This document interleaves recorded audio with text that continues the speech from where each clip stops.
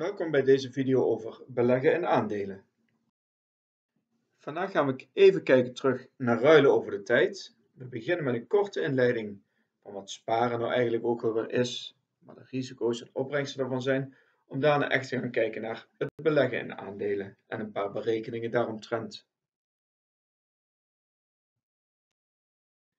Als eerste ruilen over de tijd, oftewel intertemporele ruil. Bij sparen en beleggen is het heel duidelijk aan de hand, want dan ga je huidige consumptie inruilen tegen meer consumptie in de toekomst. Want nu koop je die aandelen en later hoop je daar renteopbrengst van te krijgen of ze met een koerswinst te kunnen verkopen, zodat je dan meer kan consumeren. Bij lenen en studeren was natuurlijk ook sprake van ruilen over de tijd, het element van nu minder en later meer, of andersom. Nou, rente als eerste. Rente is een vergoeding voor drie zaken. Als eerste uitstel van consumptie, de verwachte inflatie, want je wil dat je aan het eind van je, een periode dat je gespaard hebt minimaal net zoveel kan kopen als nu. Dus je wil vergoed worden voor de prijsstijgingen. En het risico het geld niet meer terug te krijgen. We maken verder nog onderscheid tussen nominale en reële rente. Nominaal rente is gewoon het rentepercentage dat je van de bank krijgt. En de reële rente is het rentepercentage gecorrigeerd voor de inflatie. En die zegt dan iets over de procentuele stijging of daling van de koopkracht van je spaargeld. Risico's bij sparen zijn op zich niet heel erg groot, maar wat natuurlijk zou kunnen als je een variabele rente hebt, dat het rentepercentage in de loop der jaren steeds verder daalt. Zo is het nu ook extreem laag. Inflatie kan hoger worden dan het rentepercentage. Dat speelt vooral als je, als je een bepaalde vaste rente hebt gekozen, je hebt je spaargeld vastgezet voor een langere tijd, dan zou de koopkracht van je spaargeld dalen. En een bank kan failliet gaan. Maar gelukkig is er in Nederland het depositogarantiefonds en daarmee garandeert de Nederlandse bank de eerste 100.000 euro aan spaargeld per bank. Opbrengsten van sparen is simpelweg gewoon de ontvangen rente. Dan gaan we naar de aandelen. We gaan eens kijken wat is een aandeel, wat levert het op en daar zijn vooral enkele berekeningen belangrijk bij. Nou, hier rechts zie je een voorbeeld van een heel oud aandeel. er staan een paar interessante zaken op, zoals naamloze vennootschap. Het is aantoonder. dat is een kenmerk van de aandelen van een naamloze vennootschap. Dat diegene die het aandeel kan laten zien, klaarblijkelijk ook de eigenaar is van dit aandeel. Aandeel is simpelweg gewoon een bewijs van mee dat je mede-eigenaar bent in een NV, dat zijn beursgenoteerde aandelen, en een BV. NV staat voor naamloze vennootschap, op die aandelen staat dus geen naam en die kunnen dus ook zo op de beurs verkocht worden. Een BV is een besloten vennootschap en op die aandelen staat bijvoorbeeld meneer Jansen, mevrouw Pietersen. En als mevrouw Pietersen een aandeel door zou willen verkopen, dan zou ze eerst toestemming moeten vragen daarvoor aan alle andere aandeelhouders. Dus aandelen van een BV zijn niet vrij verhandelbaar en zie je dus ook niet terug op de aandelenbeurs. Bedrijven geven in principe aandelen uit om vermogen op te halen omdat ze geld nodig hebben. Soms is dat goedkoper als geld lenen bij de bank en de voordeel is natuurlijk van aandelenvermogen dat ze het niet terug hoeven te betalen.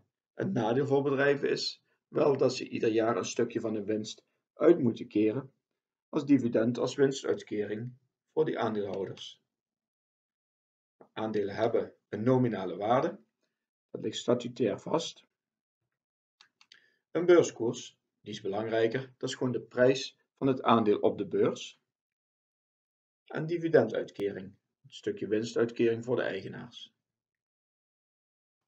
Aandeelhouders die hebben ook bepaalde rechten. Ze zijn dus mede-eigenaar, maar ze lopen ook risico over het ingebrachte vermogen. Dat is in principe wel in vrijwel alle gevallen het enige risico wat ze lopen als je je aandelen hebt. In Philips en Philips gaat failliet, dan zie je het aandelenvermogen, dan zie je dat geld voor jouw aandelen niet meer terug.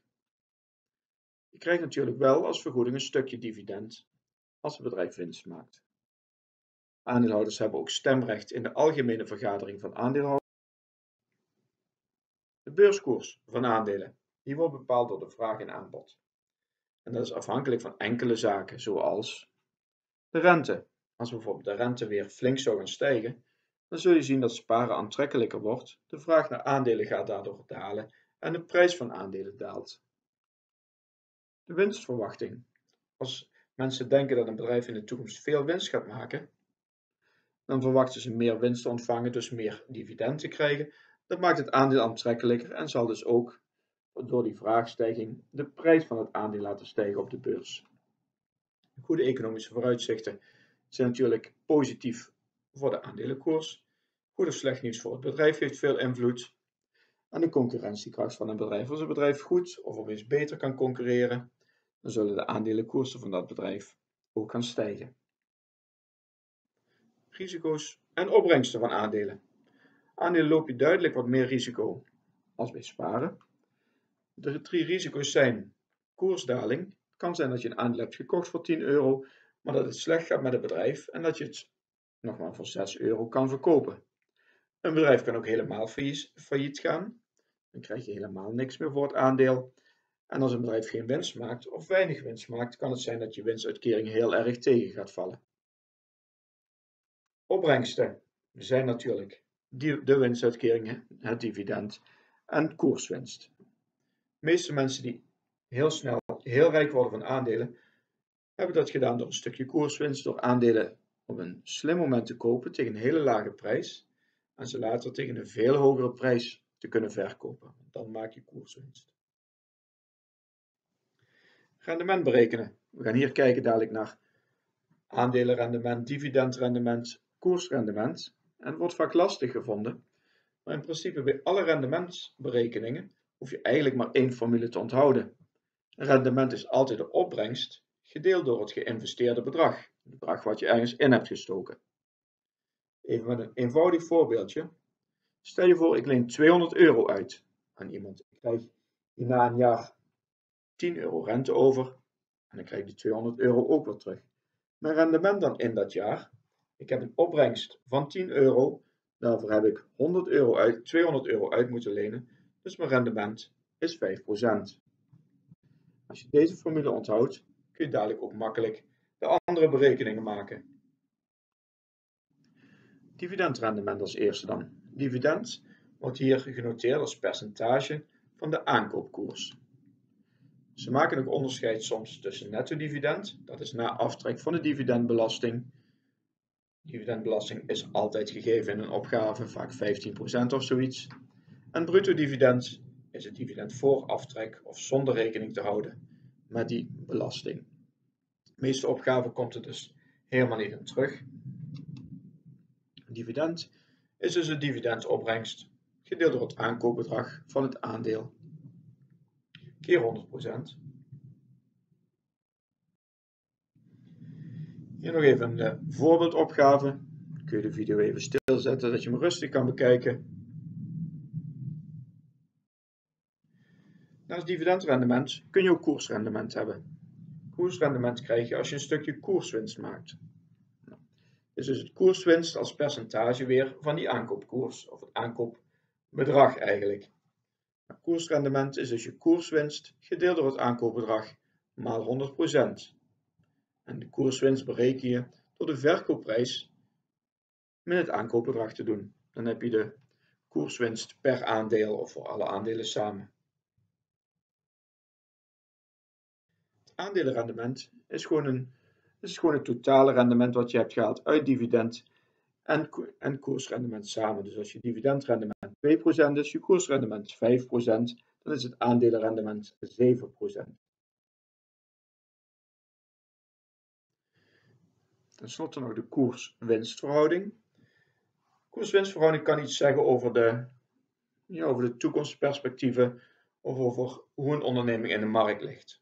Want dit geeft in principe aan die koers-winstverhouding hoeveel keer de aandeelhouders de verwachte winst per aandeel willen betalen voor één aandeel. Bij een hoge koers-winstverhouding, bijvoorbeeld een 5 of zo, dan hebben beleggers blijkbaar hoge verwachtingen ten aanzien van de toekomst. Dit noemen ze dan ook groeiaandelen. Want bij een hoge koers-winstverhouding willen aandeelhouders best wel veel, misschien wel vijf keer die netto winst betalen. Of misschien wel, is de koerswinstverhouding wel 20, willen ze wel 20 keer de netto winst betalen. En dat doen aandeelbeleggers natuurlijk alleen maar als ze verwachten dat ze in de toekomst wel eens heel rijk zouden kunnen worden voor dit aandeel.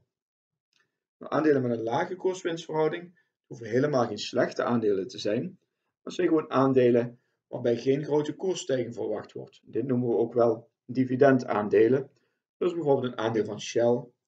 Dus een bedrijf wat eigenlijk ieder jaar stabiel mooi netjes een stukje dividend uitbetaalt. Dus mensen houden die aandelen ook aan. Die verwachten geen grote koerswinsten te maken, maar gewoon om elk jaar een mooi dividend te krijgen. Koerswinstverhouding berekenen is eigenlijk zoals je het schrijft. Ik heb bewust geschreven met koers schuine streep winst. Dus je gaat de beurskoers delen door de netto winst per aandeel. Aandelen en asymmetrische informatie speelt ook nog een rol. Asymmetrische informatie is als één partij meer weet dan de andere partij. En bij bedrijven is het duidelijk dat de managers of uh, de bankrelatie veel meer weet over een bedrijf dan een belegger die misschien wel in een ander land woont. Als die managers bijvoorbeeld over koersgevoelige informatie beschikken die nog niet bekend is gemaakt, dan mogen ze niet alvast gaan handelen in die aandelen. En daarmee zouden ze de beleggers heel sterk benadelen. Dit noemen ze dus handelen met voorkennis en dat is ook verboden. In Nederland ziet de autoriteit financiële markten erop toe dat dit niet gebeurt. Goed, ik hoop dat het een duidelijke video was en tot de volgende keer.